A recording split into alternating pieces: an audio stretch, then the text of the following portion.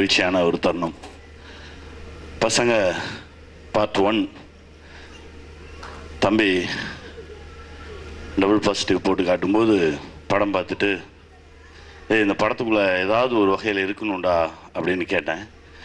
நடிக்க கூப்பிட்டேன் வரமாட்டேன்ட்ட. இப்போ இருக்கணும்னா என்ன பண்ணுறது சரி அந்த அன்புவோட அப்பாவுக்கு டப்பிங் பேசு அப்படின்னு சொல்லி ஆரம்பிச்சு விட்டான். டப்பிங் ஏரியாவை. ரொம்ப மகிழ்ச்சியாக இருந்தது. சரி பசங்க டூ ஸ்டார்ட் பண்ணிட்டான். என்னடா கூப்பிடவே இல்லை அப்படின்னா திடீர்னு காலையில் அண்ணே கிளம்பி வந்துடு அப்படியே நமோ அண்ணனையும் கூப்பிட்டு வந்துடு அப்படின்னு. அவன் காலையில் அஞ்சு மணிக்கு தான்டா வீட்டுக்கு போய் தூங்குவான். பகல் பூரா தூங்குவான் ராத்திரி பூரா நடமாடிக்கிட்டு இருப்பானே. அவனை எப்படா கூப்பிட? தூங்கிட்டு இருப்பானே அப்படின்னு. இல்லை நீ எழுப்பு அப்படின்னு. சரி ஃபோன் பண்ணால் கரெக்டாக எடுத்தான். என் ஃபோன் மட்டும்தான் ரிங் அடிக்கும் அவனுக்கு. வேறு யார் ஃபோனும் ரிங் அடிக்காது. மீதியெல்லாம் சைலண்ட்டில் இருக்கும். என்னடா அப்படின்னா இல்லை பாண்டி படம் கூப்பிட்றாங்க. என்ன பண்ணிகிட்ருக்க அப்படின்னா.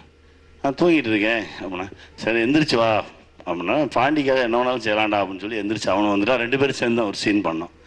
ரொம்ப மகிழ்ச்சி.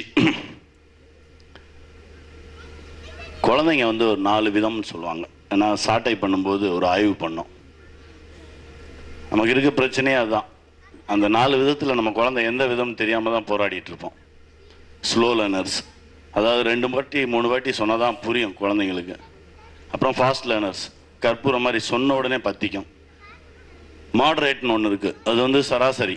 ஏன்னா திடீர்னு பற்றிக்கும் அப்புறம் நாலு வாட்டி சொன்னால் தான் புரியும். அந்த மாதிரி ஒரு கேட்டகரி. அதுக்கப்புறம் ஒன்று இருக்குது லேர்னிங் டிசபிலிட்டி அது வந்து கொஞ்சம் சிக்கலான ஏரியா. அது வந்து கொஞ்சம் நிறைய கேர் எடுத்து பார்த்துக்கணும். இந்த நாளில் நம்ம குழந்தைங்க எந்த கேட்டகரின்னே நமக்கு தெரியாது. நம்ம எப்போவுமே முதல் மார்க்கெடு முதல் மார்க்கெடுன்னு ரேஸில் ஓட விடும்போது தான் இந்த பிரச்சனையே வருது. சாட்டை டூக்கான வேலைகள் நடந்துக்கிட்டு இருந்தது. அதுலேயும் ஒரு விஷயம் எடுத்தோம். அது ஒரு கவிதை ஒன்று படித்தேன் அது படிச்சுட்டு தான் சரி இது பண்ணலாமே இதை ஒரு படமாக பண்ணலாமே அப்படின்னு தோணுச்சு. கலில் ஜிப்ரான் அவர்கள் எழுதிய கவிதை உங்கள் குழந்தைகள் உங்களின் குழந்தைகள் அல்ல உங்கள் வழியாக இந்த உலகத்திற்கு வந்தவர்கள். அவ்வளவுதான்.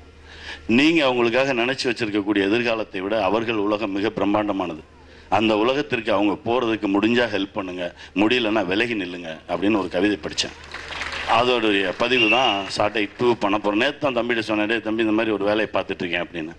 நல்லா இருக்குண்ணே பண்ணுனே அப்படின்னு சொன்னான். பசங்க டூ பசங்க ஒன் பண்ண சாதனையை விட இன்னும் நிறைய சாதனை பண்ணணும். என் தம்பி இன்னும் நிறைய வெல்லணும். தம்பிக்கு வாழ்த்துக்கள். சூர்யா சாருக்கு நன்றி. இந்த மாதிரி ஒரு விஷயம் பண்ணது ரொம்ப சந்தோஷமாக இருக்குது ஒரு பெரிய ஸ்டெப்பை எடுத்து வச்சுருக்கீங்க. நீங்கள் நிறைய பேருக்கு எக்ஸாம்பிளாக இருந்து இன்னும் நிறையா இந்த மாதிரி பெரிய பெரிய ஹீரோஸ் இந்த மாதிரி படங்களுக்குள்ள வரணும் அப்படின்னு கேட்டுக்கிறேன். நன்றி வாழ்த்துக்கள்.